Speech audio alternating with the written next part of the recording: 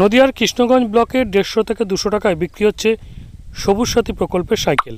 এমনই চাঞ্চল্যকর ছবি ধরা পড়ল আমাদের ক্যামেরায়।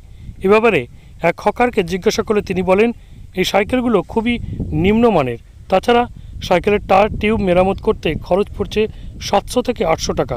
তাই অনেকেই বাধ্য হয়ে এই কমা সাইকেলগুলো না সারিয়ে আমাদের মতন হকারদের কাছে বিক্রি করে দিচ্ছে। আমরা এগুলো কিনে ভাঙড়ির দোকানে পঞ্চাশ টাকা লাভে বিক্রি করছি।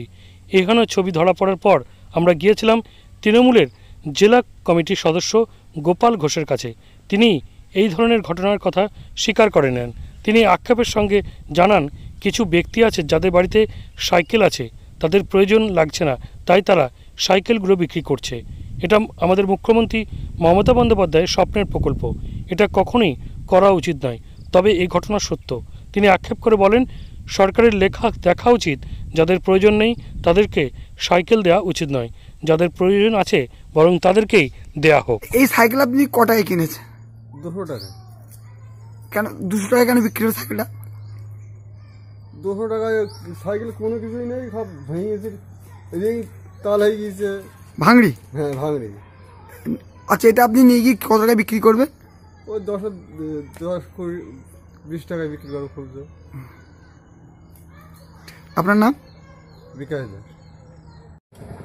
সাইকেলগুলো খুবই কুমা অরিজিনাল কুমা। টায়ার টিউব সবই খারাপ, রিংও নরম। যার জন্যই সাইকেলগুলো গ্রামে নিজেই ছেলেবেলে চড়তে পারে না, পড়ে থাকে বাড়িতে।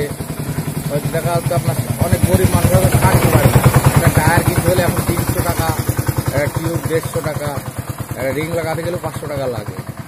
যার জন্য সাইকেলগুলো গ্রাম থেকে বেশি ভ্যালু ওরা ছেলেবেলে বলে চড়া যায় না, কিছু না। একেবারে কুমা আপনার কত দামে কেনেন সব? ওই দুশো টাকা দেড়শো টাকা এরম দামে কিনি আমরা। আপনার বিক্রি করেন কত করে?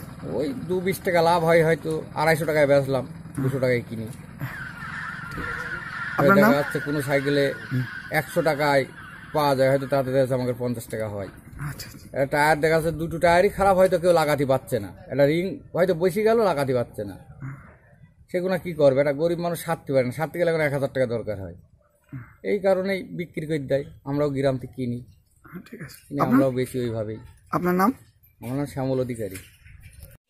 বর্তমান পশ্চিমবঙ্গ সরকার সবুজ সাথী প্রকল্পের মাধ্যমে স্কুল পড়ুয়া ছাত্রছাত্রীদের হাতে যে সাইকেল তুলে দিচ্ছে সেই সাইকেল সাইকেল এত নিম্নমানের যে সাইকেল হাতে তুলে দেওয়া মাত্রই তারা বাড়িতে চড়ে সাইকেলে করে আসবে, সেই পরিস্থিতি থাকছে না। তখনই চার থেকে পাঁচশো টাকা সেই সাইকেলের পিছনে কোনো দোকানে গিয়ে খরচা করে তারপর তাকে চালিয়ে বাড়ি আসতে হচ্ছে। এছাড়াও সাধারণ মানুষের কাছে বর্তমানে চালানোর উপযুক্ত সাইকেল পাঁচ থেকে সাতশো টাকার মধ্যে এখনও পর্যন্ত পাওয়া যায়। তাই আমি এই প্রকল্পের ঘোর বিরোধী করছি এবং নিন্দা করছি। আমি অনুরোধ রাখছি এই পশ্চিমবঙ্গ সরকারের কাছে এই সবুজ সাথী প্রকল্প অবিলম্বে বন্ধ করা হোক।